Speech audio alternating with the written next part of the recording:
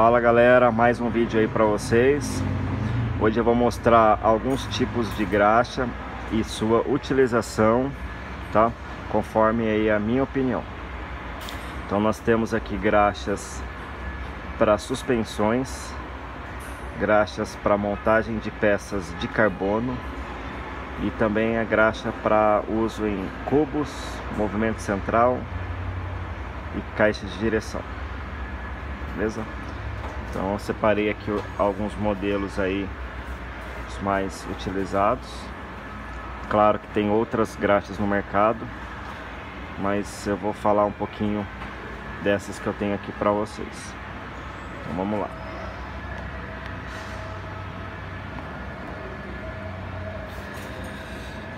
Vou falar um pouco dessa graxa, ela é recomendada para rolamentos né, em geral e rolamentos de cerâmica mas eu utilizo mais em rolamentos de cerâmica rolamento de cerâmica eu costumo lubrificar apenas de um lado e só a metade dele que a sua função é performance né? então a, a graxa é uma quantidade pequena para criar uma película né?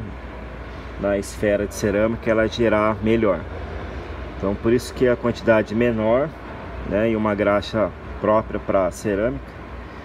Lembrando que é um equipamento de performance e deve ser a manutenção ser feita aí com né, um tempo menor e periódica. Então vou mostrar aqui um pouquinho para vocês. Ela é uma graxa que adere bem e mantém a área do rolamento bem lubrificada, beleza? Então essa é uma S3 que ela é vendida pela Session. Vou falar agora da Algu Slick Óleo. Essa é uma graxa que eu utilizo em suspensões.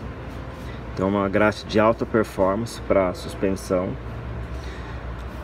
ela é utilizada para lubrificar as vedações e fazer a montagem, né? Lubrificação do retentor, dos o-rings, gacheta. Ela é muito boa e a Algu é uma graxa, né? Uma marca nacional que tem aí a distribuição agora da Slick Óleo. Eu tenho aqui também, ó, a embalagem original que até alguns meses era muito difícil encontrar aqui no Brasil, né? Mas a Algu, né, trouxe pra gente num preço melhor e é a mesma graxa, ok? Para quem tem dúvidas, que acha que o produto é diferente porque é nacional, não. O produto ele vem de fora e ele é embalado aqui num menor custo. Então essa é a vantagem para a gente aí, ter uma graxa top para uso em suspensões, ok? Eu costumo, em alguns casos, utilizá-la também para lubrificação de cabo, tá? Mas apenas cabo. Eu não lubrifico rodas nem outra parte da bicicleta com essa graxa, somente suspensão e cabo, beleza? Vamos falar um pouco aqui da PM600, da, também da Algu como na Slick Olion a, ela fez o mesmo formato, ela trouxe a matéria-prima de fora e está fazendo a embalagem né, aqui no Brasil com um preço mais acessível para gente. É o mesmo produto. Essa graxa, é, para quem não sabe, ela é utilizada na linha de montagem da RockShox. Então, todas as suspensões RockShox novas elas vêm com essa graxa aqui, a PM600. Então é uma ótima opção também e do mesmo modo da Slick Óleo eu só utilizo essa graxa para montagem de suspensões. É uma graxa vermelha.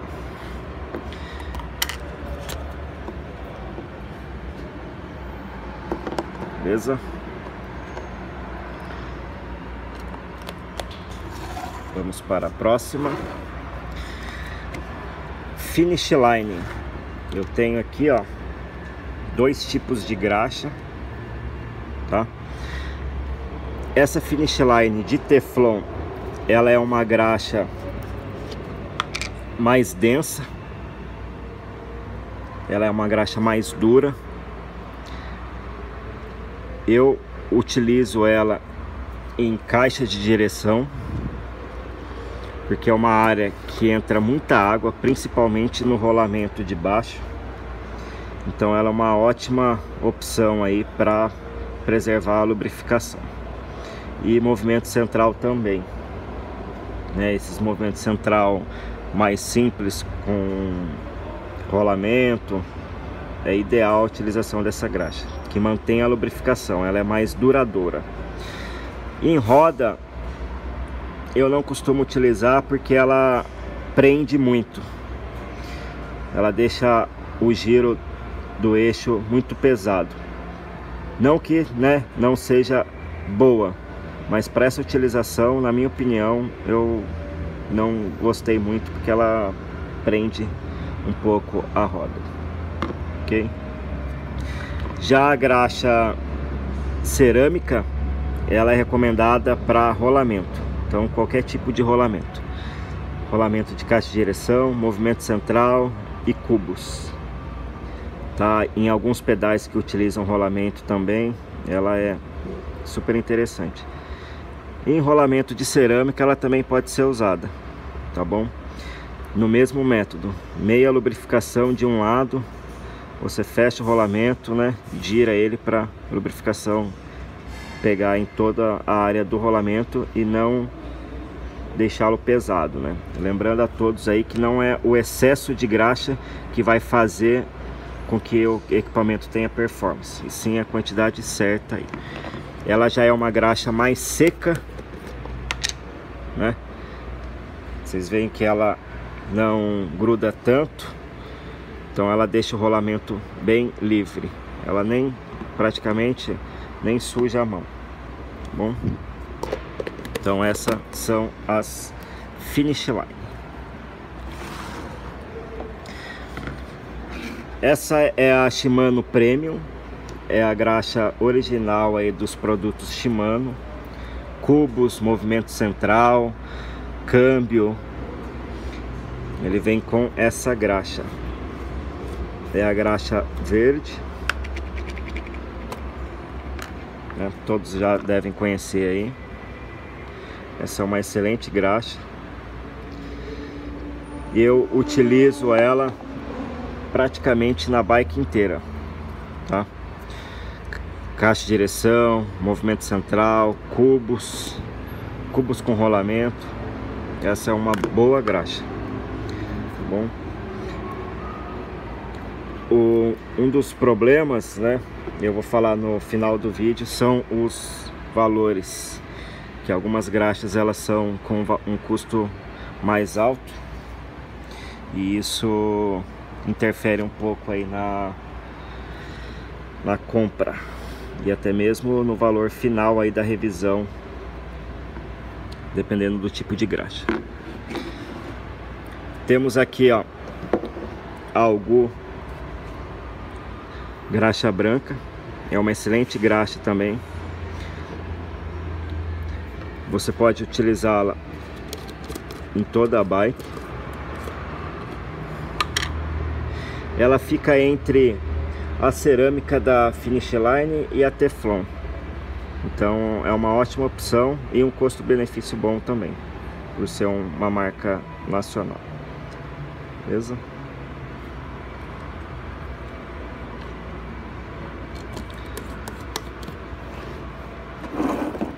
Graxa azul, muitos utilizam, né, a graxa azul. Essa graxa, ela é especial para rolamento mas para bike ela não é muito boa, tá? Essa é uma opinião minha, pois essa graxa ela é desenvolvida para rolamento, mas rolamento industrial e não rolamento de bicicleta. Então, para um rolamento que não tem sujeira, não tem chuva, né, não tem barro, ela é ótima. Mas na bike a gente sabe que as condições climáticas aí interferem muito né, no equipamento, causando aí mau funcionamento, etc. Né? Então essa graxa ela sai muito fácil com água. A gente tem né, ela na, na oficina porque algumas partes da bike, como um eixo de, de pé de vela, quando você vai montá-lo na no movimento central, você não precisa passar uma graxa top, né, uma graxa nobre. Você pode utilizar uma graxa mais básica, porque ela vai ter a função só de lubrificação ali da área e não performance. Então a gente utiliza essa graxa para essas partes. Rosca de pedal, encaixe de movimento, né? No pé de vela. Alguns casos passar a graxa no corpo do freehub e outras utilizações, né, como base para instalar um rolamento no quadro e etc. Temos aqui, ó, também, né, todos sabemos aí que em peças de carbono nós devemos montar com graxa para carbono e temos duas opções, né, de fácil acesso aí no mercado, que é a Algu essa graxa ela consiste numa graxa com uma espécie de uma areia, tá? Para vocês entenderem mais fácil. Então ela cria um atrito entre as partes, então diminuindo o risco aí de um overtorque, né? Ou quebra de peça, ou até mesmo a peça não ser apertada corretamente. Então a gente utiliza essa pasta para carbono, né? E também tem da Finish Line que também é o mesmo modo, é uma espécie de uma graxa com uma areiazinha aqui, beleza? Então esses são os tipos, né, de graxa. Nós temos aqui, ó, mostrar para vocês aqui.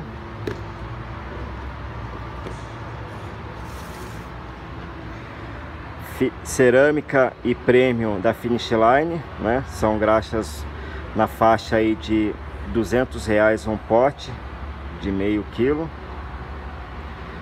O Fiber Grip é nessa faixa também, 190.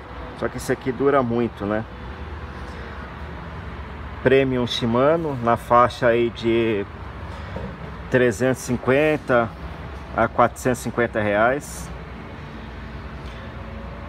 PM600 aqui Slick Olion na faixa de 130, 150 um pote de meio quilo essa Algu eu não me lembro o preço mas eu imagino que seja nessa faixa também graxa azul, esse pote aqui ele sai na média de uns 40, 50 reais. Essa Slick Olion eu trouxe de fora na época porque não tinha a opção da Algu. Então eu paguei por volta de 200, 250 reais.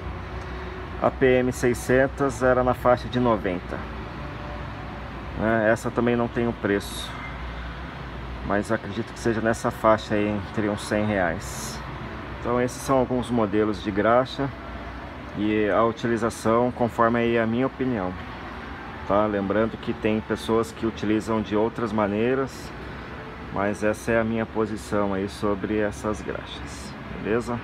Valeu a todos aí, deixem seu like, se inscrevam no canal, em breve novos vídeos aí para vocês.